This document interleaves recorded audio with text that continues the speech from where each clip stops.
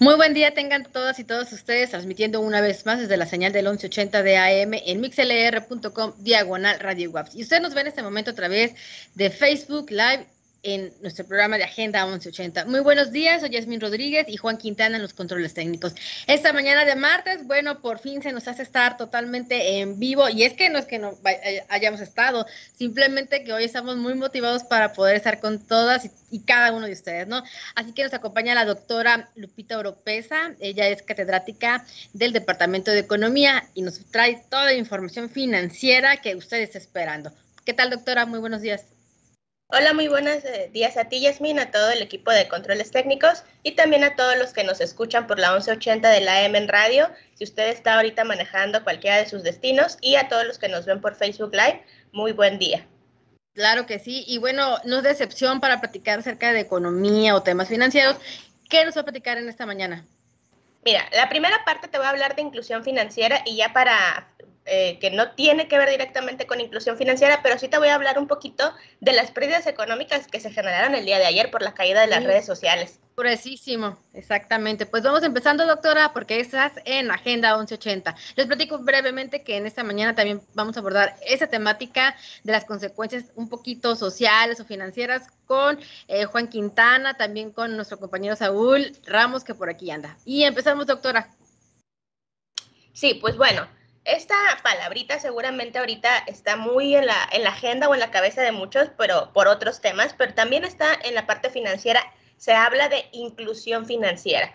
¿Y qué es en, el, eh, en este ámbito o a qué se refiere en este ámbito la inclusión? Pues es que las, eh, el acceso que las personas pueden tener al sistema financiero formal. De hecho, por eso la, en, en, una anterior entrevista, pues hablábamos del sistema financiero y del sistema financiero formal, porque acuérdense que pueden aparecer a lo mejor instituciones financieras y es muy importante que nosotros como usuarios eh, busquemos o información al respecto para estar seguros de que es una institución que está dentro del sistema y que está regulada y que cualquier cosa que pudiera pasar, pues yo tengo protección eh, por medio de la Conducef. Y además de que pueda tener acceso al sistema financiero formal, pues que además eh, el uso adecuado de productos y servicios financieros como cuáles, como el ahorro, el crédito, seguros, y es por mencionar ejemplos, puede haber muchos otros productos y servicios financieros. La importancia de la inclusión financiera radica en que favorece un mejor manejo de los recursos, además de acceso a productos y servicios financieros y de acuerdo con la Comisión Nacional Bancaria y de Valores, pues coadyuva a una menor pobreza y desigualdad y por ende a un mayor crecimiento. El acceso a crédito permite adquirir un patrimonio, ya sea a lo mejor un automóvil o una casa, o a lo mejor usted quiere comprarse un terreno para posteriormente invertir, lo que sea, pero que genere un patrimonio. O también bienes duraderos, ¿no? De que es que, ¿qué son los bienes duraderos? Pues como el refrigerador o la estufa, incluso el aire acondicionado. Obviamente, en el caso particular del aire acondicionado, pues hay que darle el mantenimiento preventivo anual, pues para que realmente cumpla su función como tal, como un bien duradero. Emprender algún tipo de actividad productiva, hemos visto algunos, eh, pese a que están, estamos en medio de una pandemia y a muchas personas les han dicho que están equivocados en emprender, pues muchos se han aventurado a emprender un negocio y afortunadamente a muchos les va muy bien. Entonces también el acceso al crédito permite emprender algún tipo de actividad productiva. Por otro lado, tenemos la protección financiera ante emergencias o imprevistos. De hecho, eh, más tarde, posteriormente o en otro momento vamos a hablar al respecto de la importancia no solo de ahorrar para el futuro, sino también para eh, tener eh, un monto ahorrado para cubrir cualquier emergencia o imprevisto. Una emergencia o un, un imprevisto puede ser, ay, se me descompuso el refrigerador y pues bueno, tengo que comprar otro refrigerador. Y la realidad es que no es el precio de los refrigeradores, pues ya no se compara al que había hace algunos años. Entonces, ese puede ser un imprevisto. Eh, una emergencia, pues cuando a lo mejor por eh, lamentablemente tenemos un accidente y pues tenemos que cubrir ¿no? los costos de esa emergencia. En el caso de las empresas, pues les permite adquirir maquinaria o invertir en nueva tecnología mejorar las eh, instalaciones o incluso una expansión de la empresa. La expansión puede ser a nivel local, hemos visto a veces que mm, abren sucursales, o bien también a, este, fuera de, la localidad. Entonces, una persona será incluida financieramente cuando tenga acceso a un producto o servicio financiero formal, es decir, de instituciones que se encuentren reguladas, de forma transparente y esto va vinculado a que tenemos protección. Si tú tienes, eh, si tú contrataste un producto o un servicio en una institución formal este, o en estas instituciones reguladas, pues también podrás en algún momento, si es necesario, eh, interponer tu queja en la Conducef o, la, este, o ahí en la Conducef te orientan para saber qué hacer y entonces ya eh, tiene la procedencia. Pero si la institución ni siquiera está registrada en Hacienda, pues se complica mucho entonces eh, hacer, establecer una queja o una denuncia si fuera el caso. Y el tercer punto es tener la posibilidad de adquirir el producto o servicio de su conveniencia. Aquí, aquí es muy importante porque siempre, no sé si te ha pasado a ti, Yasmín, que dice, ay, es que mi amigo invirtió en CETES, voy a invertir en CETES. Pero a lo mejor ese instrumento no me conviene o no, o no se adecua a mis necesidades. Entonces, eso es muy importante. Yo te puedo hablar de muchos productos o servicios financieros, pero al final de cuentas, tú estableces el presupuesto, tú a lo mejor dices, ¿sabes qué? Yo quiero que mis, mis ganancias se generen en eh, tres meses o quiero saber qué, tipo, qué, qué monto de ganancias pudiera generar. El riesgo, por ejemplo, hay instrumentos financieros o hay productos este, financieros que son menos riesgosos que otros. Entonces, por eso el que te recomienda un amigo algo, pues eh, creo que se adecua mucho o a las necesidades de cada persona y a lo que buscas también. Pero veamos los números. De acuerdo con la tercera encuesta nacional de inclusión financiera en 2018, 54 millones de personas entre 18 y 70 años tienen al menos un producto financiero. Y me atrevo a afirmar que muy probablemente ese producto eh, financiero sea nuestra tarjeta nómina, mm. nuestra cuenta de nómina. Eso significa que serían 2 eh, millones más respecto a 2015. Esto significa que en esos tres años solo ha aumentado en 2 millones. Por eso es tan importante este tema. Y si bien la inclusión financiera se atribuye a diversos factores, lo cierto es que especial atención tienen aquellos factores que están relacionados con la oferta y la demanda.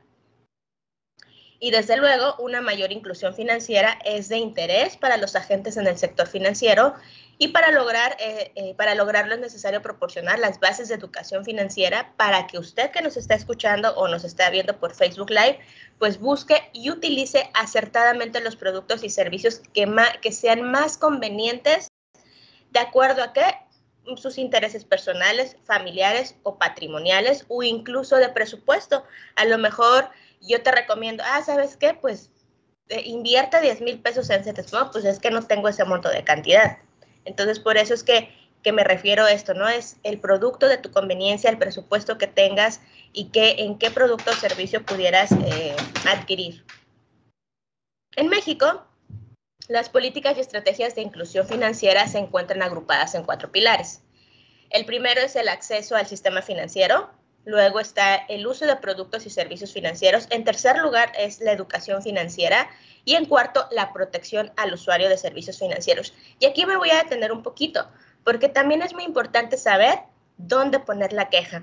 Eh, seguramente como tú, eh, yo, como, yo y tú, este, tanto yo como tú, hemos visto en redes sociales muchas quejas. Pero si, si usted no interpone su denuncia en la institución donde debe ser, pues no va a obtener una solución. Entiendo que a veces compartimos en redes sociales para eh, alertar a, nuestros contactos, nuestros amigos u otros usuarios, pero lo ideal es que vaya a la institución eh, idónea para hacer su denuncia y que si esta institución está dentro del sistema financiero, pues que tenga la sanción correspondiente, sea administrativa o de otro tipo, y si no, entonces que también se boletine. De hecho, también cuando usted hace su reporte, por ejemplo, en los números de extorsión, inmediatamente boletina, ¿no? Para que toda la gente en el país se entere. Entonces, también aquí es muy importante que usted haga esa queja o denuncia en la institución correspondiente.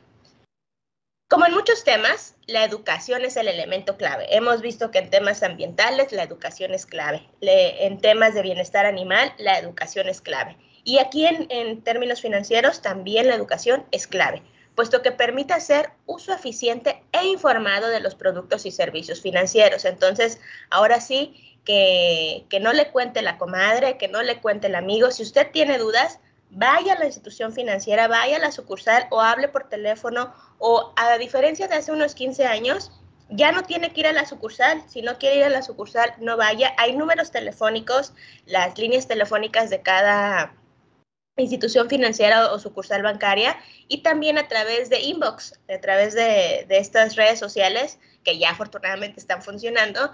Entonces, por ahí podemos pedir información para que no nos cuenten, no nos digan y no nos vayamos con a lo mejor una información distorsionada. No digo que le estén mintiendo, pero siempre es importante que usted tenga la información de primera mano y que también en ese, en ese contacto usted pueda resolver ciertas dudas que pueda tener y que probablemente pues la comadre o el amigo o incluso yo no podía resolverle.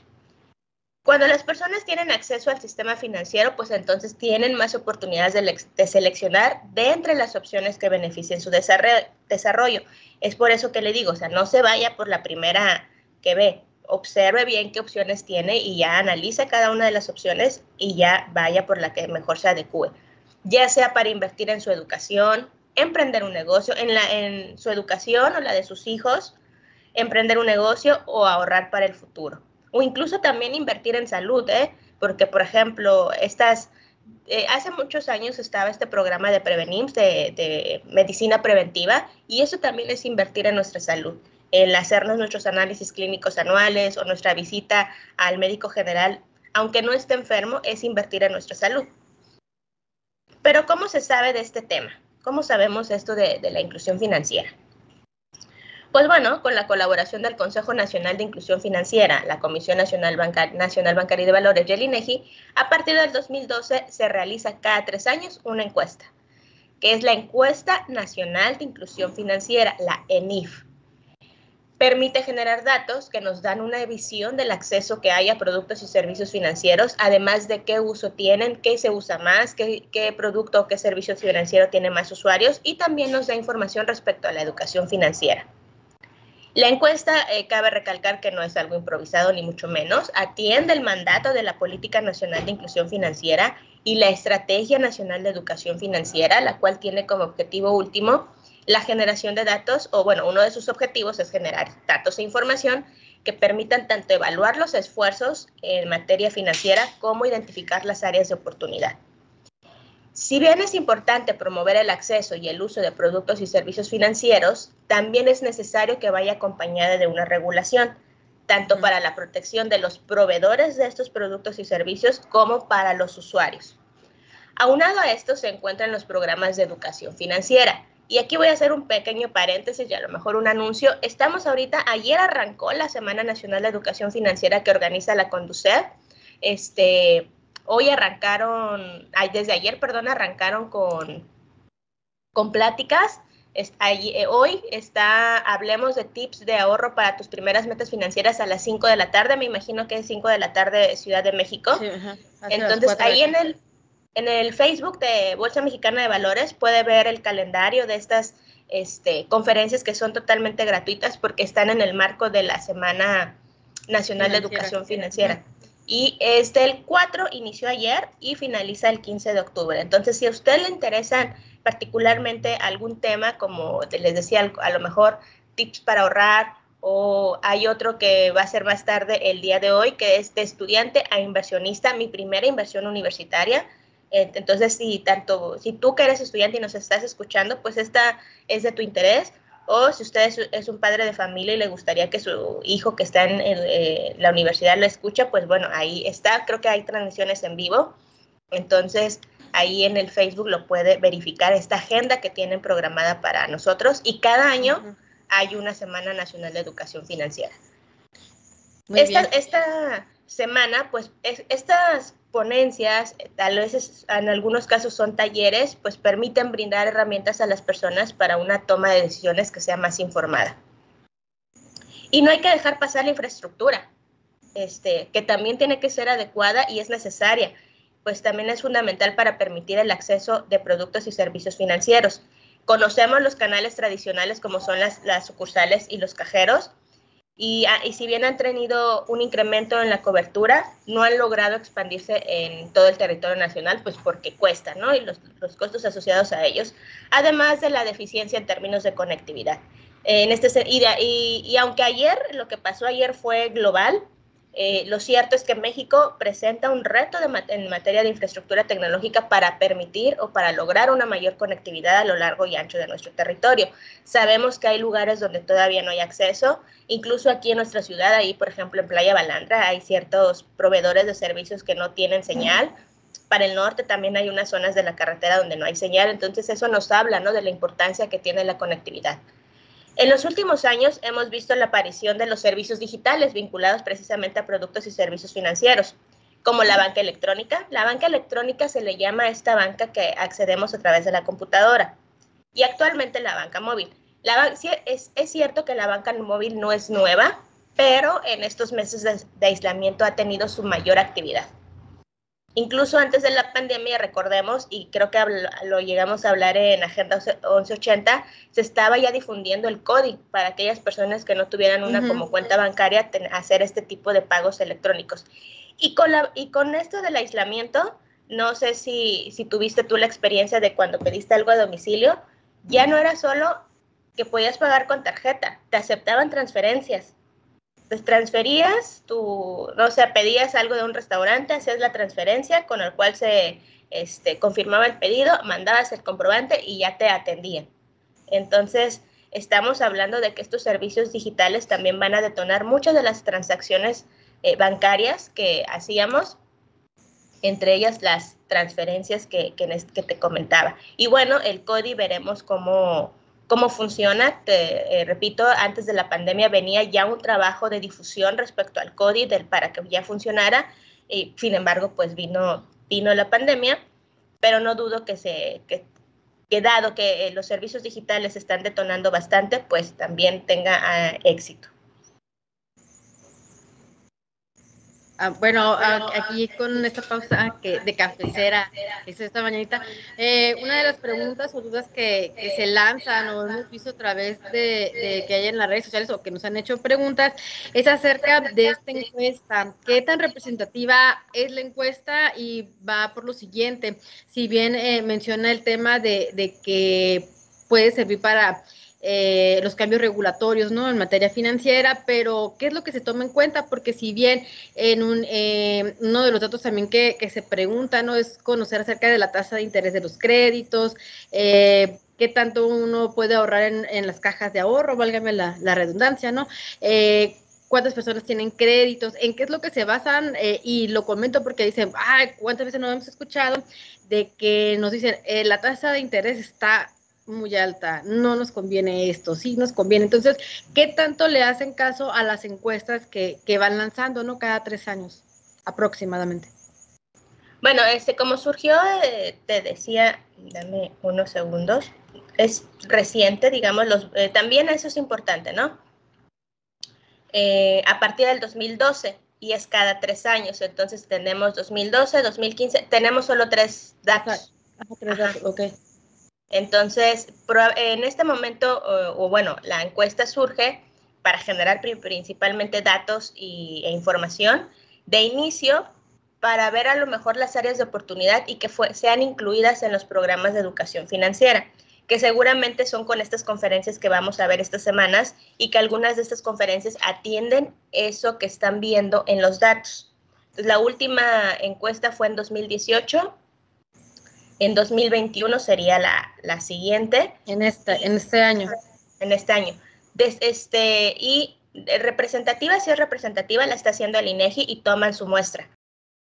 Entonces, eh, a través del INEGI, de hecho, ahí si, si ingresan al INEGI en programas, van a, seguramente van a encontrar la encuesta nacional de inclusión financiera y ellos tienen, eh, también publican ahí el, todo el documento metodológico con el cual determinan la muestra para saber a cuántos le tienen que preguntar. También tienen ahí, pueden consultar qué población objetivo es la que se está buscando a partir de esta encuesta.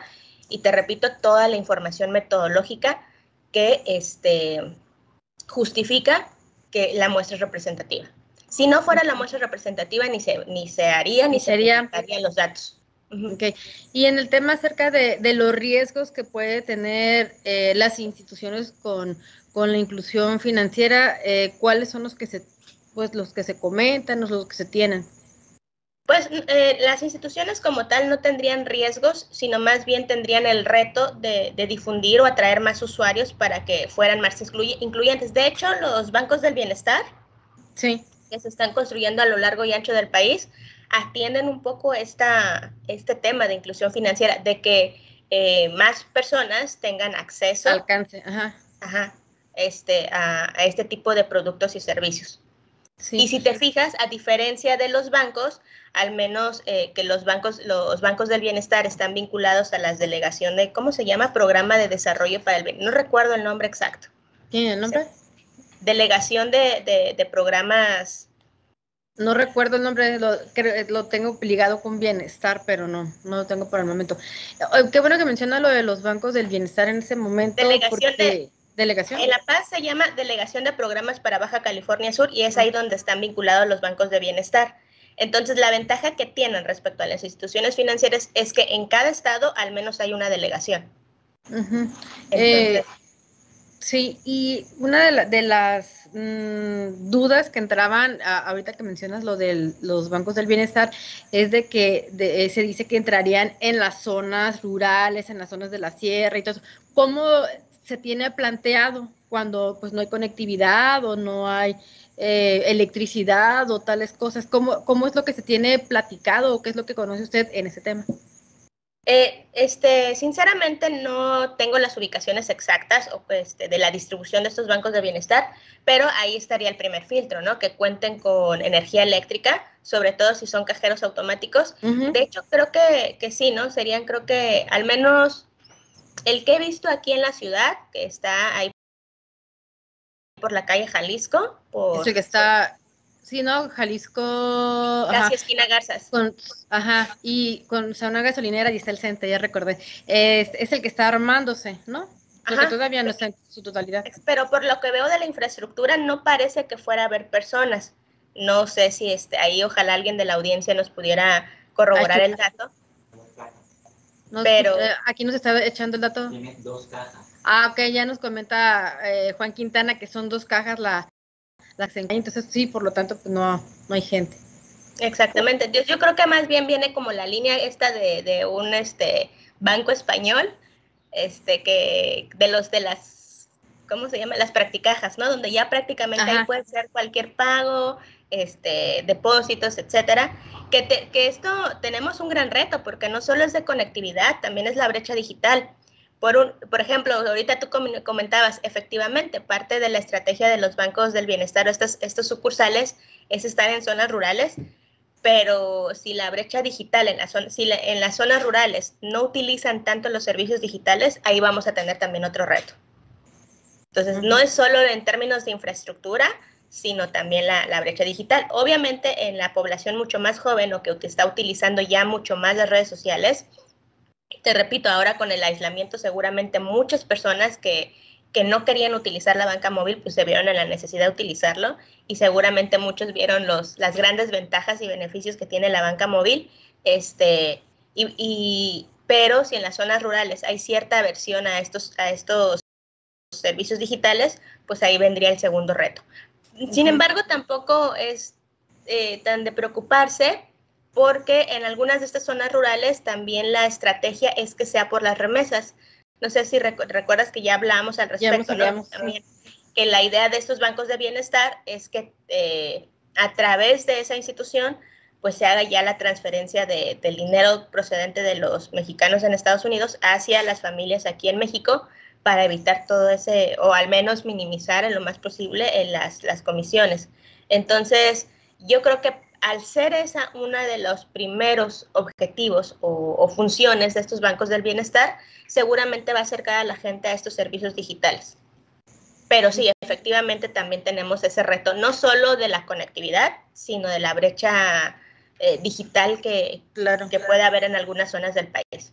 Muy marcado, por cierto.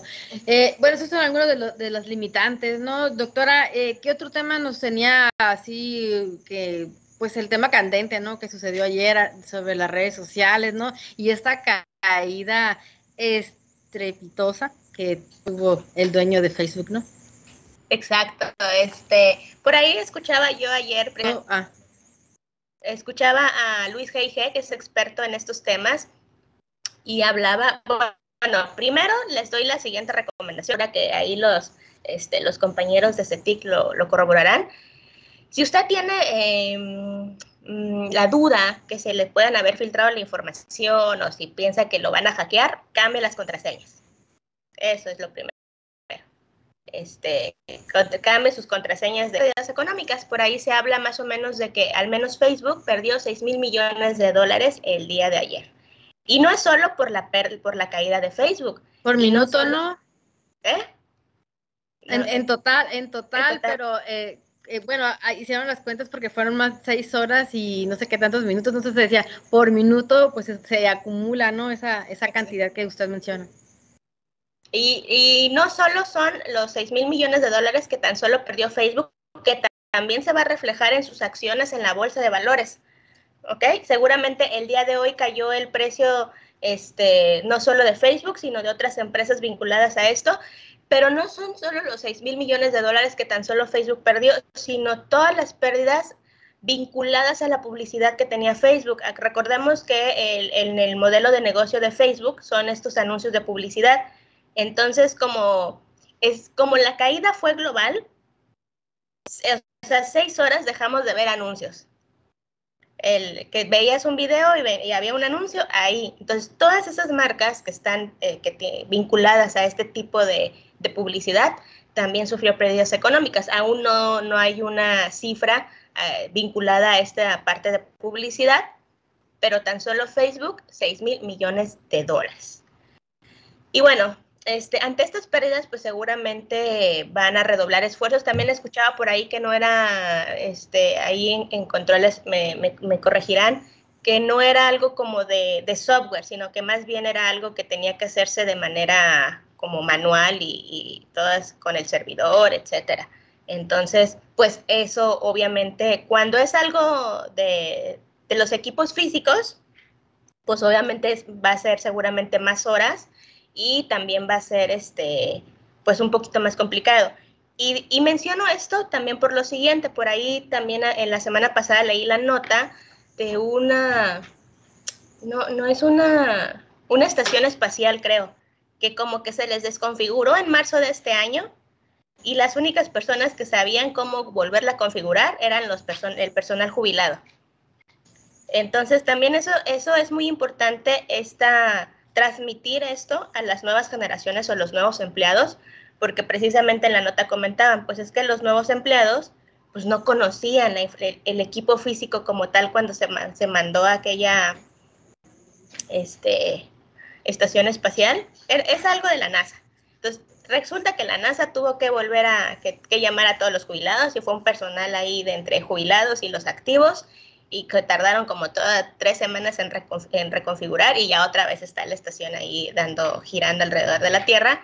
Entonces lo menciono precisamente porque al ser, eh, si es algo físico, pues este, ahí los expertos en estos temas pues obviamente generas, para no tener este problema generacional, ¿no? Y de que, de que si es algo manual, pues que aunque seas nuevo en estos, este, o más joven, pues sepas o seas capaz de, resolverlo. No sé si me explico. Sí, claro que sí. De hecho, eh, bueno, toda la gente, eh, una de las cosas que se hicieron, ¿no? Eh, y bueno, después ya vimos en los comentarios o preguntas de diferentes medios qué hiciste o a, o a qué aplicación o a qué red social te fuiste en esas seis horas, ¿no? Sin, sin Facebook, eh, WhatsApp o, Instagram, ¿qué fue lo que hiciste, ¿no? Entonces, ahí también hablaba acerca de, de estas noticias, ¿no? Que qué tan importante o tu tiempo de ocio, dónde se encuentra o qué tan importante es, ¿no? A final de cuentas, encontramos que, no, que otras redes sociales también de uso, pues acá si también se cayó, este, ¿qué? Eh, Gmail, ¿no? Google, que tenía algunas eh, intermitentes, que al ratito que TikTok ya no se supo si fue verdad o fue, eh, o, qué pasó, ¿no? El día de ayer. Ah, en la noche, en la noche pusieron ese anuncio de que también se estaba viendo, pero te digo, ya no se supo si fue cierto o, o, no de, tantas redes sociales que de, eh, ya ahora le pasó. Y el invicto, ¿quién fue? Twitter, que quién? Entonces ahí empezaron con pues algunos detallitos. Estuvo eh, ajetreado, me imagino, tanto en la bolsa de valores, la, la cuestión financiera, bueno, como las personas que por necesidad o por ocio tendrían que estar en las redes sociales. Sí, y, obviamente esto se va, eh, esto que te mencionaba hace rato de que si es el software o es el hardware el que, el que causa conflictos, obviamente se va a reflejar eh, en las acciones de Facebook y de ahí va a tardar también la recuperación. Si fuera de software, creo que sería, hubiera sido mucho más rápido el restablecimiento, porque lo puedes hacer de manera remota. Pero cuando ya es una cuestión de hardware, pues ahí es, ahí me corrige controles, pero ya la cuestión de hardware puede llevar más tiempo, precisamente porque ahora lo tienes que hacer presencial. Exactamente. Doctora, eh, bueno, pues ah, con esta... para cerrar este tema, te decía, TikTok fue de las que se mantuvo ahí y todo el mundo en los comentarios, ahí, ahí vi a mis estudiantes, no, no, bueno, no sé si mis estudiantes, pero decían, todo se cayó, pero no se cae Zoom, no se cae Meet y no se cae eh, Classroom. Y ah, las plataformas de educación son las que continuaron eh, trabajando. Estaban enojados, sí pudimos observar eh, esos detallitos, o sea, estuvo muy movido el, el mucha gente, eh, no sé cuál es la estadística, ¿no? De quienes incursionaron en Twitter y en TikTok. Son los que quedaron, pues, y, Telegram, que también tuvo sus, sus caídas leves, y venía, pero ahí está. Ahora, ahora sí que, ahora sí tuvimos que llamar y utilizar mensajes de texto. El correo electrónico, ¿no? Sí, correo electrónico. De regreso. Bueno, pues nos da muchísimo gusto que haya estado con nosotros como siempre, ¿no? Que, nos platique sobre temas financieros y pues, que sea de la Universidad Autónoma de Baja California Muchísimas gracias, doctora. A ti que tengas buena tarde, gracias a todos los que nos escucharon por la 1180 de AM o, o los que nos estuvieron viendo por Facebook Live. Sí, hasta luego. Hasta luego. Eh, seguimos en Agenda 1180 y bueno, porque ese tema acerca de las redes sociales no solamente de ahorita, eh, vienen datos interesantes de quienes han estado eh, platicando y ah, les parece, no sé si aquí Juan me dice que hagamos una pequeña pausa o ah, podemos seguir conectados porque estará con nosotros tanto Juan Quintana, aquí nuestro, nuestro operador técnico, así como también nuestro compañero Saúl Ramos para platicarnos un poquito acerca del tema de la caída de las redes sociales del día de que estuvo bastante fuerte. Eh, cada quien trae sus datos y sobre todo es esta idea ¿no? de platicar un poquito acerca de lo sucedido de ayer. Así que bueno, quedemos un poquito más en cuanto se puedan eh, conectar. Les sigo platicando que hoy, 5 de octubre, bueno, una de las cuestiones interesantes que, se están platicando es acerca, insisto, a nivel internacional, acerca del, eh, de este volcán en erupción, ¿no? Que usted lo puede eh, ver en, a través de los diferentes medios de comunicación, cómo se va formando, ¿no? En La Palma, esto, es en, Palma, en Tenerife, en, en, esas islas que se encuentran ubicadas, eh, pues son parte también de España, así que es interesante ver eh, ese, el movimiento, el seguimiento que le dan a través de redes sociales. Y bueno, por aquí ya creo que llegaron los dos compañeros, se pueden todavía no los puedo ver, pero fíjense que eh, eh, eso es lo que, que, se está platicando yo en la mañana, ¿no? Acerca de, esta, eh, pues lamentable situación a las personas que han tenido que, evacuar, ¿no? Sí, es lo que, lo que podemos estar eh, observando. Eso en el plano, les decía yo, internacional, por aquí nuestro internet está algo sensible, no internet, como siempre. Eh, otro de los temas relevantes que se están eh, eh, platicando en esos momentos acerca que en Francia confirman más de 216 mil víctimas de pederastia. Esto, bueno, es un número que se le, eh, va elevando, no cada día van platicando más casos y se tienen en cuenta a los laicos vinculados a instituciones de la Iglesia Católica. Esto, bueno, lo publica, lo revela la Comisión de Expertos sobre Abusos por parte de clérigos en Francia entre 1950 y 2020. Está dando mucho de qué hablar, sobre todo aparte de Francia, en Europa, ¿no? Ese tema. Y ya para no dejar de lado los temas que están ocurriendo en el plano internacional, es que Rusia bate nuevo récord hoy martes, ¿no? Tanto de muertes como de casos nuevos en tema al COVID-19. Esos son algunos de los detalles que está pasando. Y ya por último les platico que en Singapur aprueba ley contra la injerencia política extranjera. Son las notas que dan la vuelta al mundo. Vamos directamente, ya está por aquí Juan Quintana, está mi compañero Saúl Ramos para platicarnos ese último tema que nos eh, mencionaba la doctora Lupita Oropesa, ella en la parte económica, pero aquí están mis compañeros para iluminarnos un poquito más sobre las perspectivas, qué fue lo que concibieron ¿no? en el día de ayer. Adelante chicos, ¿cómo están? Bienvenidos. No los, escucho. Ah. Ya, ya, ya, ya, se escucha. Creo, espero. ya no, Buenos días, Juan. Buenos días, Juan. Pues tenemos, pues tenemos datos aquí, datos aquí principalmente de, de, las cosas que pasaron por las redes sociales. Dado que Dado ayer, ayer aparentemente a las 10.40 hora del centro de la Ciudad de México, pues, en, pues en, hay una plataforma que se llama Down Detector, que es donde se suelen dar estos casos, ¿no? De que la gente avisa, hay problemas en ciertas redes y aparentemente es la hora en la que se empezaron a detectar algunos problemas si algunos usuarios de pronto empiezan a, a, a escribir, está fallando la red, no, pues aparentemente esto fue una falla mundial, ya que desde España, Brasil, Francia, Rumania, Noruega, países como Estados Unidos, Perú, Canadá, Colombia, Guatemala y pues, México y en muchos lugares del mundo prácticamente pues se dieron estas fallas. Y ahorita escuchando también aparte de, los, de las pérdidas económicas y que todo aparentemente se debe a un fallo de que solo se fallas, que para la gente que desconoce el término es el nombre que se le suele dar la página para internet, normalmente las páginas de internet.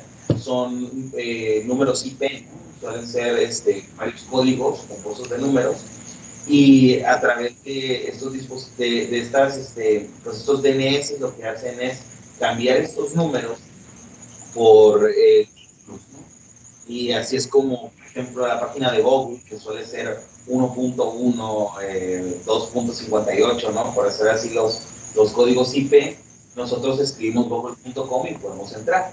Entonces, lo que sucede es que eh, pues la gente al querer entrar tanto a Instagram como a WhatsApp como a Facebook, pues al fallar estos DNS, la manera en la que pudieran entrar es a través de los IPs, pero es algo a lo que nosotros no estamos acostumbrados. Y a partir de ello, pues ¿no? sé qué datos por ahí también, Juan. Juan Quintana. pues sí, ya lo, como lo comentaba Saúl, lo comentaba pasa, pasa todo uh, indica todo, que fue un indica que fue un DNS, fallo en una agenda, es una agenda, nosotros escribimos el nombre, nosotros escribimos el nombre para simplificar el hecho de, de tener las configuraciones de IP, imagínense en estar escribiendo en vez de google.com, escribir 207.142.221.234 o algún código de Ahora imagínense aprenderse imagínense estas aprenderse de cada una de estas Pero sí, el director de, sí, el director de, tecnologías de Cloudflare, que es uno de los- que es uno de los de los servidores, servidores, servidores, de DNS, servidores de DNS, todo pues, puede ser una falla de todo puede ser una falla Eh, muchos pensaban un Eh, hackeo, muchos pensaban eh, un los hackeo, activistas eh, de Anonymous, los activistas de cuentas se decía algunas que cuentas se haber, que pudieron haber este, este, hackeado, ¿no? O sea, eh, hackeado, ¿no? publicaban este detalle, Publicaban pero fueron muchas las cuentas, no hay nada comprobable, cuentas, no hay nada y ya por todos lados pues, ya por todos lados. pues, se información centra más en que pudo ser se centra más en que pudo ser eh, por los Pero, DNS. eh, pero bien dicen, eh, hubo fallos bien en dicen, Facebook, WhatsApp, Facebook, que todos WhatsApp, sabemos. Instagram, que todos son de la misma que empresa, son de la misma pero también muchos decían, ¿sabes pero Tengo problemas en. Telegram, problemas en Telegram, en Gmail, en otras plataformas, en otras pero plataformas, no tan no grandes como no tan grandes como las que los eh, servicios de de Pero en Telegram también Pero decía tuve en fallos, también decía fallos. cierra WhatsApp, cierra WhatsApp, cercano es Telegram, Signal, de es Telegram, Signal, entonces se saturan los sistemas. Entonces se saturan los sistemas. este hacen donde este cuello de más botella usuarios de donde los que más usuarios de los que puede tener la, puede página tener la, página el ancho de banda, pues el ancho de no lo banda soportaron pues, no lo soportaron y puede bloquearse, ¿no?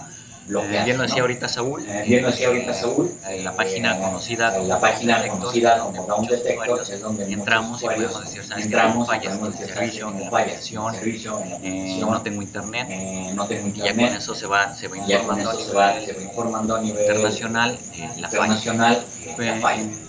Pero, ¿qué, pero, qué pudo haber ¿qué- pasado más allá que pudo haber pasado más allá que de lo, de Facebook y sus sistemas, sus servicios? sistemas, sus Que servicios, en julio que en julio hubo un problema similar, pero problema similar, Akamai pero Technologies, Akamai que es eh, Technologies, una empresa de que es, servidores eh, una que empresa de servidores que ofrece todo este tráfico ofrece todo este tráfico internet. Y pasó lo mismo. Y pasó lo mismo, y si buscamos la página de, de Akamai Resulta que, resulta eh, que ellos tienen servidores con ellos servicios tienen de servidores con servicios de Facebook, eh, Twitter, Telegram, eh, Telegram, eh, TikTok y demás. TikTok Entonces ellos y demás. pudieron Entonces, haber ellos tenido de nuevo pudieron haber tenido de nuevo DNS con sus servicios DNS de con manera sus servicios accesar. de manera que no podemos Muchas accesar. notas salieron acerca Muchas de notas salieron acerca de trabajadores de eh, Facebook trabajadores de Facebook lógicamente, no no Si este enrutamiento, si este enrutamiento, que eh, telefónica, donde tienes el nombre de la persona, el nombre de la persona vinculada a su número de teléfono. Si no la tienes, pues lógicamente Si no la tienes, pues lógicamente no se acceder, no se también empezaron a salir notas también empezaron a salir notas en el si no la tienes, pues ofrecían más de ofrecían más 5 de millones de cuentas de usuarios de Facebook filtradas, pero si vemos las notas, Pero si vemos las notas, información del que esta es 22 de septiembre del año 22 de pasado. septiembre, o sea, del año pasado. Hubo filtraciones. Siempre, eh, Siempre, ha habido, eh, el año ha pasado, habido, o el antepasado, año recuerdo pasado, que hubo una recuerdo de pensaron que había filtraciones. sido la más Muchos grande, pensaron que había sido la más grande, pero resulta que fue filtraciones, no fue como filtraciones, no fue como que en salieron, ¿no? eh, pero salieron, ¿no? eh, Pero, como decía ahorita la, la eh, compañera la compañera acerca de, sistemas, sistemas y de cómo saber saber o, o, o o si te han hackeado qué hacer. Hay una página que se llama Que ahí pueden poner poner cualquiera de sus correos, correos, les va a decir su correo, una página la que se hayan registrado, y en ese en momento les va a decir, ¿sabes qué? Hackearon Hackearon Facebook y cuenta cuenta haber eh, visto eh, envuelta envuelta en ese hackeo, inmediatamente crear crear nuevas nuevas o activar esta seguridad de doble factor para que no haya ese ese tipo de tipo de ataques. ataques. Interesante la, la, la, la- bueno, lo que pudimos observar, ¿no? El día de ayer ¿eh? en cuestión tecnológica, Eh, los mercados de las bolsas de valores comentaban, ¿no? Acerca de que una caída muy grande, los medios internacionales eh, tocando una vez más, ¿no? Una, una caída, pero ahora sí muy fuerte, una caída que definitivamente cayó, eh, pues en de medida eh, fuerte, ¿no? Con, con, Estados Unidos sobre todo, ¿no?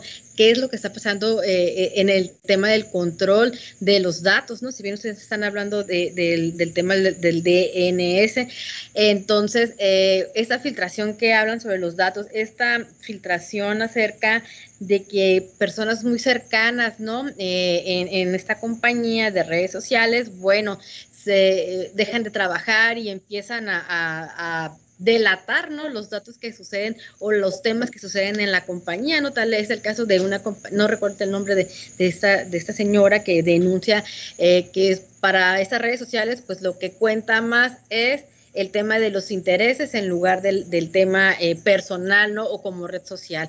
Y otra, eh, pues ustedes me imagino ya conocieron y, platicaron acerca del tema. Otro de los temas que salen es acerca de los comportamientos eh, sociales, emocionales que, que, tienen hoy en día sobre las personas y más sobre los jóvenes, ¿no? Y, y, esos son los temas latentes que, que, se están hablando en los noticieros de CNN, en Fox, en Washington Post, en en el periódico acerca de, de esa relevancia que tiene la, el comportamiento ¿no? en, los, en los seres humanos que utilizan las redes sociales. ¿no? Estaban platicando acerca de estas filtraciones que se dan, ¿no? como ustedes bien comentan, hasta dónde llega esa red social o hasta dónde eh, llegan eh, estos temas. Sobre todo ahorita cuando, no sé si recordarán el tema de las campañas eh, electorales en Estados Unidos, que se filtra información para no estar dañando a terceros, pero ella comentaba, esta compañera, acerca de eh, termina la campaña electoral y otra vez vuelven a, surgir estos disparates, ¿no? De cómo van las redes sociales. O sea, son temas eh, que se deben de hablar, ¿no? Por la relevancia que tienen en nuestro entorno y cómo usamos eh, en ese sentido la, red social, eh, las fotos que tú quieres que conozcan, los comentarios que tú estás emitiendo. Entonces, ¿quién más se conoce? Ellos y todo el mundo, ¿no? A final de cuentas, eh, abarcan muchísimas cosas. Que mm, a partir de estos detalles que, que suceden, chicos, ustedes que, que pueden comentar sobre si bien pueden haber más caídas, ¿no? Pero en el tema de, los datos, ¿qué consideran ustedes importantes que se debe o deberían de acatar estas redes sociales? Mira, yo creo que de entrada hay algo muy que mencionaba Juan. Hay tipos de seguridad ahorita para que uno pueda navegar y no son difíciles. Eh, esos de tus cuentas de teléfono celular, tu computadora, son dobles candados. Entonces, yo creo que ahorita es una de las, de, las cosas que todos estamos buscando, privacidad de los datos, ¿no? Y más después de que constantemente se han detectado esas filtraciones que hay de datos. Entonces, con pasos muy sencillos que se pueden activar desde mismas cuentas de Google, porque si bien tienen muchas herramientas para poder analizar tus datos y poder utilizar de manera comercial o, o cualquier otra, también ellos te proveen herramientas para poder garantizar la seguridad de, tus datos. Entonces yo creo que de ahí es nada más de pronto entrar, checar cuáles son las opciones que se dan y tener una navegación más segura ¿no? a partir de ahí.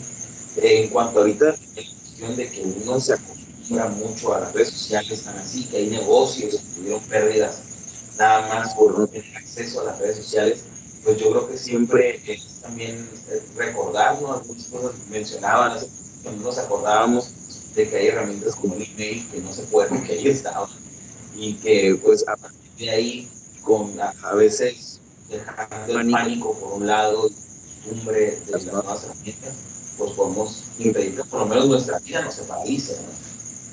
Ok, gracias, Saúl. Juan. Sí, bien, como decían ahorita, a veces, a pues, las pues, filtraciones, de, contraseñas, de contraseñas, páginas web, páginas web, ya me ha tocado, ya me ha tocado con muchos compañeros, con algunos, me he peleado, me he peleado, pues me borraron, y otros, y otros contestaron, me contestaron yo de plano no puede ser no que, puede ser que, tomen esas, respuestas, ¿no? respuestas, ¿no? Sí, pero que me puedan creo que robar, me pueden robar trabajo en, en, en seguridad, o cosas que que información, información eh, eh, peligrosa o peligrosa, pero toda pero toda es información es, es muy importante. importante. Luego andamos de que, oye, que hicieron una que cuenta hicieron una secundaria cuenta con mi nombre, secundaria con mi nombre, con mis fotos, información que yo no información que sabía yo no que sabía que tenían. Eh, por ejemplo, Eh, imagínate, por ejemplo, imagínate a mi correo, mi correo pues resulta que está vinculado a mi Facebook, mi Facebook, tiene información de toda mi familia toda mi mis familia contraseñas, mis contraseñas, contraseñas viejas, contraseñas viejas, nuevas, etcétera. Eh, Eh, cambian mis contraseñas de Mercado Libre, Amazon, mis cuentas, todas mis tarjetas, demás, de repente me me todo. O entran a mi a WhatsApp mi WhatsApp y en algún momento en le número pasas tarjeta o algo a alguien para para alguna transferencia o algún pago, ¿no? Y esa es información, pues, información pues, sensible o en estas páginas de de donde está tu dirección, tu teléfono la de algún familiar a la que mandaste eh, alguna eh, información. alguna información. Siempre hay que estar protegidos. A veces decimos, pues, ¿cómo no voy a decimos, ¿cómo no voy a recordar contraseñas? contraseñas todas las plataformas? todas las plataformas? Pues bueno, hay Pues algunos de gestores de. Yo, a mí no me Yo, gustaba, a mí no me gustaban, siempre empecé a usar empecé a usar algunos y, y me daba cuenta que no daba son cuenta que puedes guardar las contraseñas números números etcétera. etcétera. Y hay muchas Y alternativas, alternativas y y de de paga. paga Podemos usar estos y ahí mismo y usar los generadores generadores de de doble llave de para doble poder acceder. Porque si no, este, este, ya ha pasado, ya ha pasado, mandado me han mandado y inbox me y dicen, ¿sabes qué? No ¿sabes qué? No yo no soy esa persona o no es que una cuenta que secundaria y y pasa, ya lo pasa, ya lo hemos visto, muchos datos, muchos han, datos han, salido, han salido, a mí me han a filtrado, mí me han unas filtrado cuatro cuentas cuatro cuentas y a cambiar contraseña, es la más fuerte, hasta la fecha hasta la fecha siguen habiendo siguen habiendo reportes de usuarios que usuarios las que las contraseñas siguen siendo contraseñas siguen 1, 3, siendo 4, 1, 1, 3, 3, 4, 4, 1, 5, 3, 6 4, 5, 6 y, y correos y muy correos básicos. muy básicos. Entonces, siempre hay que tener cuidado, tener a la mano a la mano todos seguros, este, contraseñas, contraseñas eh, pues guardadas, guardadas en, algún, en algún archivo cifrado, archivo cifrado, en algún papelito, pero muy bien guardadas muy bien guardadas para momento de recuperar momento los datos, los datos, luego ¿no? le pones Y luego le pones recuperar recuperar contraseña contraseña y pues resulta que pues no si te sé si te registraste como Juanito Pérez, o o Luis López, Luis nada López, nada más, completos, fecha de nacimiento real, tu fecha de nacimiento digamos. real. Entonces también perdemos esos datos para las cuentas completamente. Pues chicos, se nos agotó el tiempo. Eh, gracias por las recomendaciones, gracias por el interés de platicar acerca de este tema de la caída de las redes sociales y sobre todo eh, que usted considere importante no este tema para su mejor aprovechamiento. Recuerde siempre eso, el bienestar de, de las personas primero y después pueden hacer lo que quieran. Muchísimas gracias, Juan Quintana, Saúl Ramos, eh, por esta charla. Te agradecemos profundamente también a la doctora Lupita Oropesa por brindarnos espacios en los temas financieros. Hasta mañana y recuerden que esto es el 1180 de AM, MixLR. Eh, Radio WAPS 1180 AM. Eh, no se le olvide que eh, hoy es martes 5 de octubre y bueno, eh, disfrute la programación que tenemos a través de la señal de AM, no 1180. Hasta la próxima. Se despide Yasmin Rodríguez y también Juan Quintana en los controles técnicos y bueno, ahora el compañero Saúl. Hasta la próxima.